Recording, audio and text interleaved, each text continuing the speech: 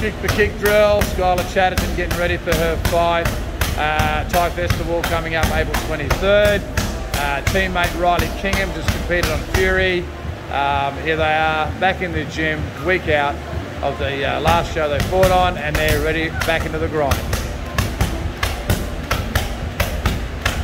And here we go.